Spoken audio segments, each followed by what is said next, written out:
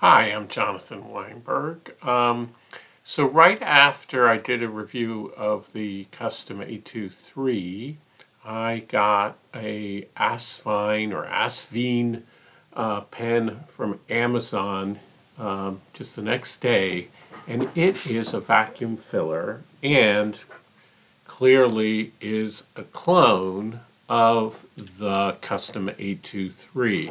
So in a certain way, it is another Chinese pen like the Wingsung 699 that is imitating the Pilot Custom 823. It is also a vacuum filler. It is almost exactly the same length, a little smaller. It's a little smaller. And the one difference um, from the Wingsung is that it is a demonstrator, but it's a kind of frosted plastic, which is actually quite attractive. It's sort of like glass. It looks like, like as if it were glass that has been um, frosted in seawater. Um, it comes in a blue, it comes in a clear, and it also comes in an amber. And it is quite attractive, as a matter of fact. And um, it has the same problems with, with vacuum fillers that I don't like very well. I always have trouble completely filling them. But as a matter of fact, I never usually want to fill them all the way anyway. So I was able to fill it with a reasonable amount of ink. Um, but I have exactly the same problem with the Pilot Custom 823, to tell you the truth, in all of my different vacuum fillers. It's, it's a little tricky, and you have to have a, a I find you have to have a full uh, bottle of ink to really, to really get the ink into them uh, all the way and and they have and they have such a capacity for ink that the thing is, who wants to have that much ink in your pen uh, anyway? Uh, this is the box that it it comes in, uh, and then you pull it out, and it's very um, it's a box that that is very familiar to you if you ever got you get Moonman pens, and um, I have a feeling that there's a connection between Moonman and Asfine, or perhaps it's just the same company. They use the same company that provides. Comes in this packaging. It has a little instruction manual that comes with it.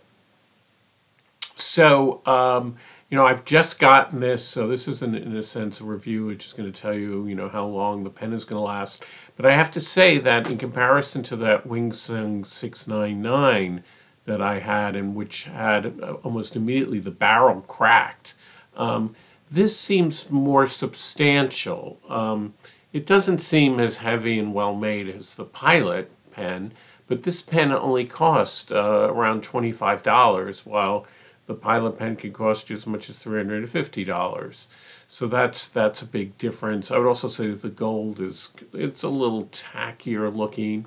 It isn't, the nib is not nearly as smooth as the um, uh, Pilot pen is, but it, it isn't bad. Um, so Pilot has a beautiful gold 14 karat nib, size 15 nib, which probably called size 15 nib. The, um, oh, it's going to roll. The Asfine Rasvine has a number 6 standard nib, medium nib, and it has the branding on it, which is nice. Here it is next to a Safari, next to Metropolitan, Pilot Metropolitan. It posts very securely.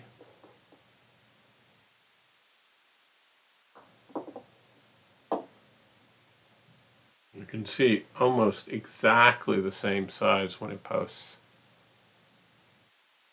Uh, uh, it's an interesting it's an interesting pen and, and I, I actually really like the blue and the way the way it looks.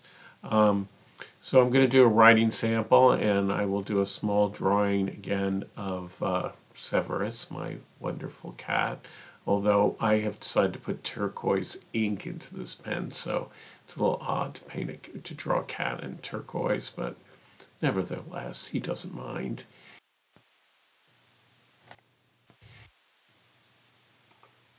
Okay, here's the writing sample.